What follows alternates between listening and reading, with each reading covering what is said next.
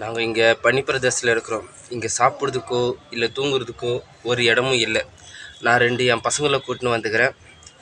அதாவது இங்கே சுற்றி பார்த்தா ஒரு கரண்ட் இல்லை ஒரு வெளிச்சம் இல்லை.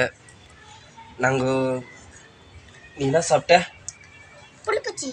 ஆ, அவன் புழு பூச்சி சாப்பிட்டான். நீ என்ன சாப்பிட்ட? அவன் பாம்பு சாப்பிட்டான். நான் வந்து தவுக்கலை கெச்சு தவுக்கலை சாப்பிட்டோம். இங்கே வாழ்கிறது அவ்வளோ கஷ்டமாக இருக்குது இல்லையா? என் பசங்க பாருங்க. ரவுண்டு தீப்பந்தத்தில் தான் நாங்கள் வாழ்ந்துனுக்குறோம் இப்போ பெரிய பெரிய கொசு பெரிய பெரிய பூரா எல்லாம் எங்களை தாக்குது. என்ன பண்ணுது இங்கே பெரிய காடாக இருக்குது இங்கே. பாருங்க. எவ்வளோ பெரிய மரம்லாம் இருக்குது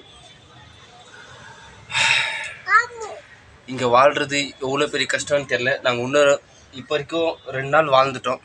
இன்னும் ஒரு நாள் வாழணும். இன்றைக்கி நைட்டு இங்கேயே கொஞ்சம் இடம் கிடச்சிருக்கு.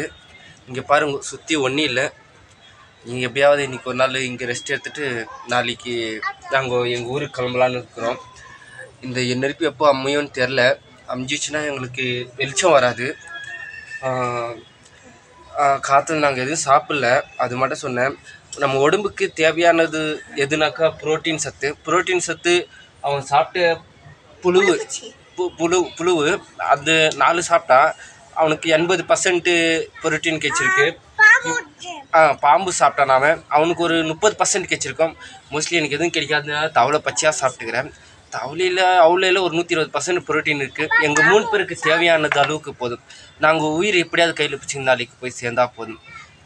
ஏய் எதோ சொத்து வருது சொத்து வருது. ஒன்றும் அங்கே காண்டா மிருகம் போயின்னு இருக்கு. சரி இருக்கட்டும். நாங்கள் இப்போ தூங்கணும். இப்போ இதை அமைக்கலைனாக்கா காண்டாபுரிக்கு எங்கள் சைடு வந்துடும் நாங்கள் அமுச்சு ஆகணும். ஓகே பாய் குட் நைட் உங்களை நான் காலையில் சந்திக்கிறேன்.